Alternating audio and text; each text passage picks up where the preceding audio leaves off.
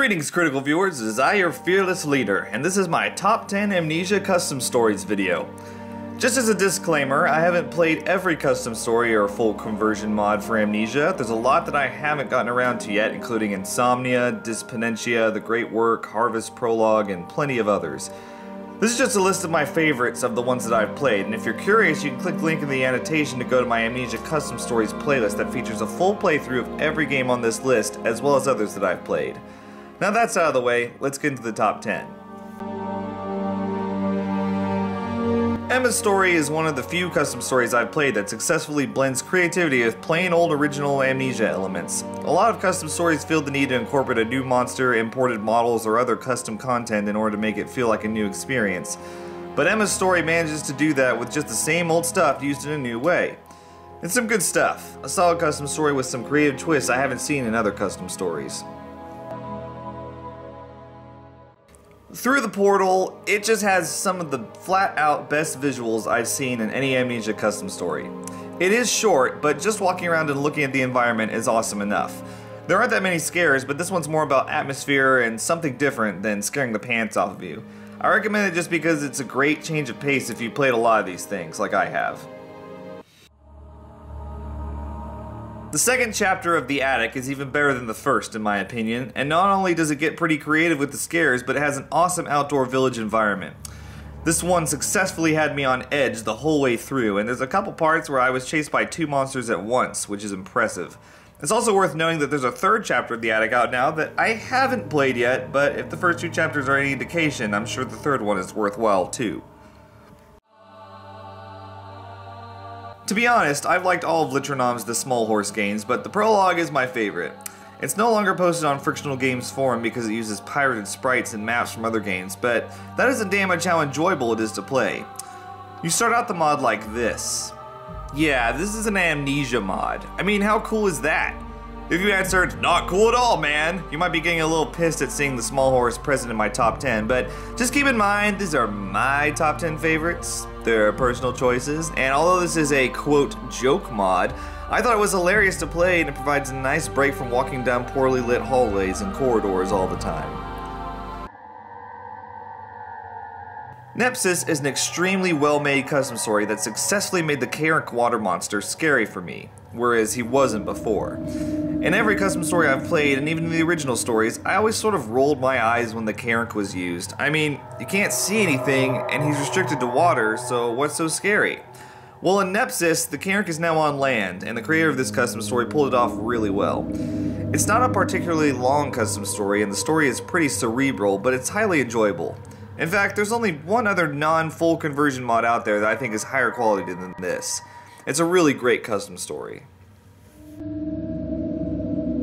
La Casa won an award on ModDB for, well, being awesome, and it's appeared on a lot of top custom stories lists that I've read, so you could say that this one's a fan favorite. Critical hit! La Casa successfully makes you feel like you're in an ancient environment, more so than other custom stories I've played anyway. When you're playing La Casa, you truly feel like you're on the verge of awakening an ancient evil, and that's something that's hard to capture in a lot of these mods. The most memorable sequence for me is wandering through a library of bookcases being hunted by a brute that just refuses to go away. It's pretty good stuff.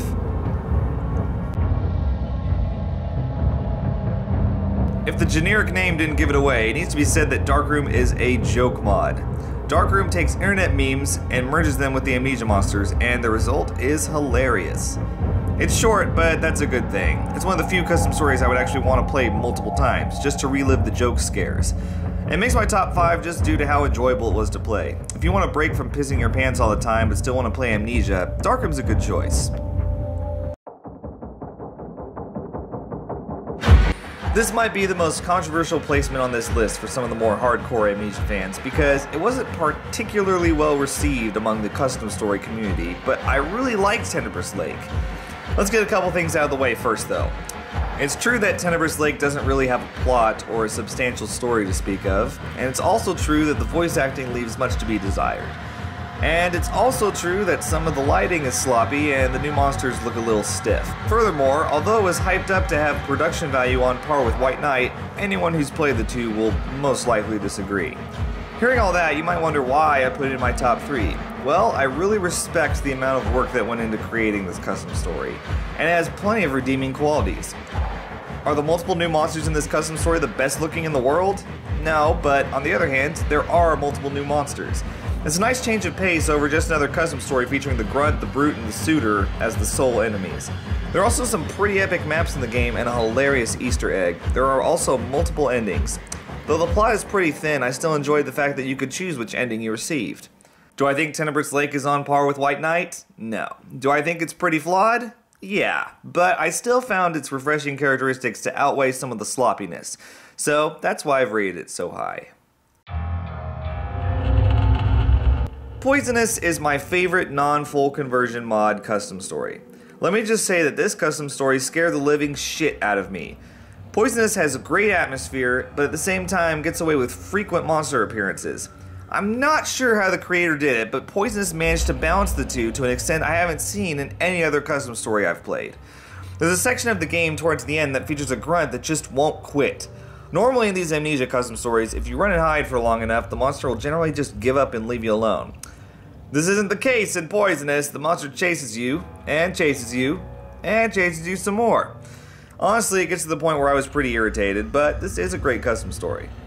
Did I mention it has a story? Yeah, it does. And it's not just another, you wake up and don't remember anything, but you're in a scary mansion, so what the hell, let's explore thing. You actually have a reason for exploring this place. Oh, and there are multiple endings, just throwing that out there. I love playing custom stories where you get to make choices. Anyway, that's my number two. I bet most of you can probably guess what number one is. Surprise! It's White Knight. Only the most lauded Amnesia custom story ever. As much as I'd like to surprise you with some other choice for my number one custom story, I just can't. White Knight so perfectly masters the atmosphere of Amnesia, mixed it with some original music, a completely new environment, creative puzzles, and, gasp, even a story. White Knight doesn't feel like an Amnesia custom story, it feels like a game of its own, which is something that I haven't seen other custom stories fully developed, and it really separates it from the pack. I really can't talk it up enough, you just have to play it for yourself if you haven't. And those are my top 10 favorite Amnesia custom stories. Most of them you can download on moddb.com or check out the Frictional Games forum for more information on these mods. Till next time, think critically.